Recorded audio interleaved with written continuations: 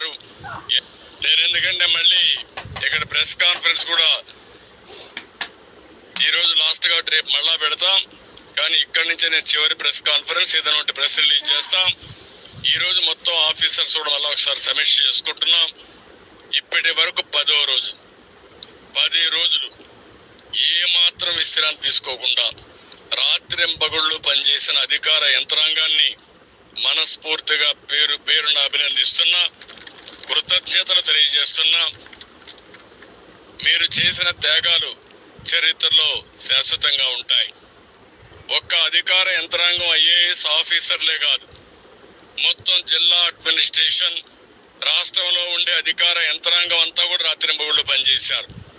వీళ్ళతో సమానంగా ఎంతోమంది శానిటేషన్లో పారిశుద్ధ కార్మికులైతే రాత్రింబగుళ్ళు ఇవన్నీ కూడా క్లీన్ చేయడంలో చాలా శ్రద్ధ చూపించారు. దగ్గర దగ్గర ఏడు వేల మంది పనిచేశారు. త్రాగునీరు కోసం కొన్ని వందల వేల మంది పనిచేశారు. అదే మరి కరెంట్ ఇవ్వడానికి కొన్ని వేల మంది పనిచేశారు. ఈ విధంగా మనం ఆలోచిస్తే ఫుడ్ పాకెట్స్ అయితే కొన్ని లక్షల ఫుడ్ పాకెట్స్ ఎవ్రీడే సరఫరా చేయడం కోసం పెద్ద ఎత్తున శ్రమ చేశారు.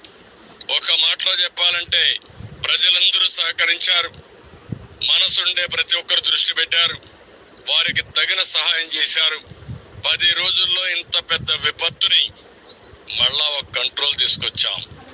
ఒక యుద్ధమే చేశాం. వరదల పైన ఒక యుద్ధం చేశాం. ఎవరైతే విద్వేషాలు రెచ్చగొట్టి వారు అధికారంలో ఉన్నప్పుడు చాలా వరకు దుర్మార్గంగా ప్రవర్తించి నిర్లక్ష్యంగా ప్రవర్తించి గండులకు కారణమైన అవన్నీ పూడ్చాం.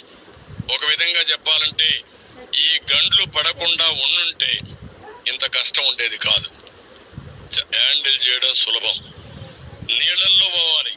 నా జీవితంలో చాలా సంక్షోభాలు చూశాను. ఉదుహుదు చూశాను. సూపర్ సైక్లోన్ చూశాను. తిత్లీ చూశాను. అక్కడ జరిగింది. ఒకసారి విపత్తు వస్తుంది ఆ విపత్తు వెళ్ళిపోతుంది. తర్వాత మనం రెస్టరేషన్ కానీ రిలీఫ్ కానీ ఫాస్ట్గా చేశాం. ఇక్కడ రిలీఫ్ చేయడానికి కూడా అవకాశం లేదు. ఎనిమిది అడుగులు పది అడుగులు పన్నెండు అడుగుల నీళ్ళు.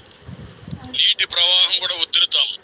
ఓసారి ఎన్డీఆర్ఎఫ్ చేతులు తీశారు మేము వెళ్ళి మేము వెళితే కొట్టుకొని పోతాం కాబట్టి ఈ ఏరియాలో మేము పోవంటే మళ్ళీ మళ్ళీ అడుక్కొని ఎన్ని విధాల ప్రయత్నం చేయాలో అన్ని విధాల ప్రయత్నం చేశాం ఆ ప్రాంతాల్లో హెలికాప్టర్లు పంపించాం క్యాపిటల్ కూడా మీరు చూస్తే మొదటి రోజున ఈ బ్రీచ్ ఎప్పుడైతే పడిందో నీళ్ళైతే వచ్చినాయో ఆ రోజు రాత్రి నేను హోమ్ మినిస్టర్తో మాట్లాడాను. హోమ్ మినిస్టర్ గారితో మాట్లాడి కేంద్రంలో హెలికాప్టర్స్ పంపించమని ఎన్డీఆర్ఎఫ్ను పంపించమని పవర్ బోట్స్ పంపించమని వారికి అప్పుడే చెప్పాను.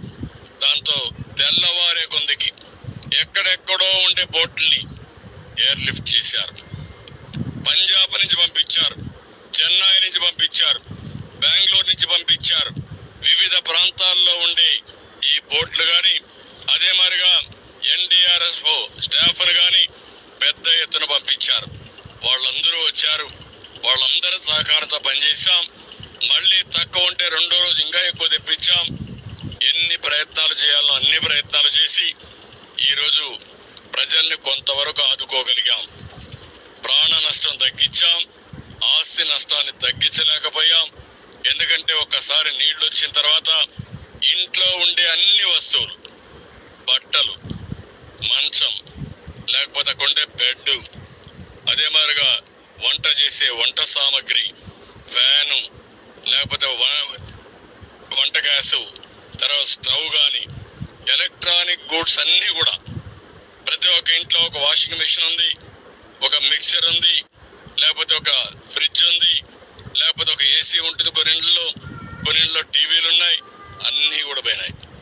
ఈరోజు వాళ్ళందరినీ కూడా పిలిపించి ఎన్ని విధాల ప్రజలను ఆదుకోవాలను మొట్టమొదటిసారిగా మీరు చూస్తే ఇప్పటికి నలభై వేల ఇండ్లలో ఈరోజు నలభై కాదు ఇంకా ఎక్కువ ఉంటుంది అన్ని ఇండ్లలో ఫైర్ ఇంజిన్స్ పంపించి ఇండ్లు క్లీన్ చేసే కార్యక్రమానికి శ్రీకారం చుట్టాం.